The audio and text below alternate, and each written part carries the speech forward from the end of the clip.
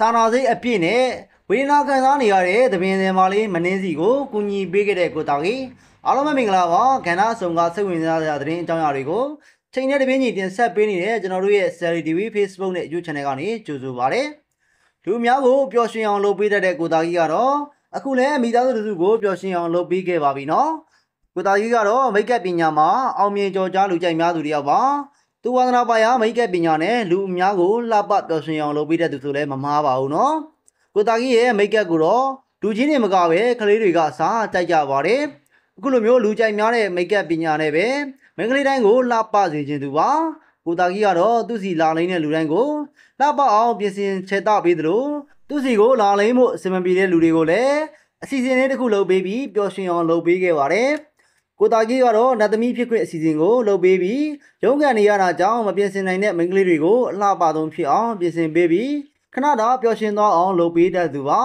မိတ်ကပ်ပညာနဲ့လည်းလူတွေကိုပျော်ရွှင်အောင်လုပ်ပေးတတ်တယ်လို့ခုကမှတော့မိတ်ကပ်ပညာကရတဲ့ငွေတွေနဲ့မိသားစုတစုကိုပျော်ရွှင်အောင်ဖန်တီးပေးလိုက်ပါပြီကိုတာကြီးကတော့သမင်တယ်မလေးမနှင်းစီနဲ့တမီးဖြစ်သူဘိုးပြည့်စင်တို့သားမိကိုကူညီပေးခဲ့တာပါ မိတ်ကပ်တွေကိုထူထူလိမ့်ပြီးမျက်နှာမှာကာလာစုံတင်ထားပြီးအကားလှတွေနဲ့လမ်းတော်လမ်းလာတွေကိုဖျော်ဖြေပေးနေတဲ့ဘိုးပြည့်စုံကိုမိတ်ကပ်ပညာရှင်ကိုတာကြီးကတော့လိုင်းမော်မှာတွေ့သွားရင်သတိထားမိခဲ့ပါတယ်မိတ်ကပ်ပညာရှင်တယောက်ဖြစ်တဲ့ကိုတာကြီးကတော့မျက်လုံးမှာ eye shadow အရောင်တောက်တောက်တွေတင်ထားတဲ့မိုးပြည့်စုံကိုသတိထားမိပြီးယောဂဖြစ်နေတဲ့အမေကိုလှုပ်ကြွေးနေတာကြောင့်သူ့အနေနဲ့တတ်နိုင်တဲ့လောက်ကူညီပေးဖို့စီစဉ်လိုက်တာလည်းဖြစ်ပါတယ်မိုးပြည့်စုံကတော့အသက်14နှစ်အရွယ်သားရှိသေးပေမဲ့ ဆက်တာကိုဘေးကိုဖဲလမ်းမအလဲမှာစောင်းပေါ်ဖွင့်ပြီးကပြကမိခင်ဖြစ်သူအတွက်ငွေရှာနေသူတယောက်ပါမိခင်ဖြစ်တဲ့မနှင်းစီကတော့အရင်ကသမင်သည်မလေးတယောက်ဖြစ်ပြီးအကအလှနဲ့ဖြောပြခဲ့ပေမဲ့ခုချိန်မှာတော့ရင်သားကင်ဆာယောဂါကိုခံစားရပြီးအလုံးမလုံးနိုင်တဲ့အခြေအနေပါ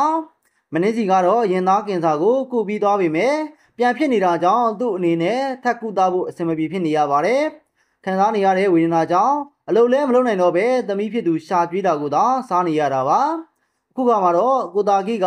မမိုးပေးဖို့အတွက်မိုးပြေစုံနဲ့မနှင်းစီတို့ကိုသူ့ရဲ့စတူဒီယိုကိုလမ်းခေါ်ခဲ့ပါတယ်မမိုးပေးခြင်းတဲ့စိတ်ကူးနဲ့ခေါ်လိုက်ပေမဲ့သူတို့သားမိရောက်လာချိန်မှာတော့ကိုတာကြီးရဲ့စိတ်ကူးတွေပြောင်းလဲခဲ့ပါတယ်ကိုတာကြီးကတော့မမိုးများများပေးဖို့ခေါ်လိုက်ပေမဲ့ဆိုင်ကိုရောက်လာမှသူတို့သားမိရဲ့အကြောင်းကိုပြပြစုံစုံသိခဲ့ရတာပါ မနှင်းတီရဲ့ယောဂဝိနာကိုသူကိုယ်တိုင်မြင်တွေ့ခဲ့ရသလိုသမီးဖြစ်သူမိုးပြေဆုံးအကြောင်းကိုပါ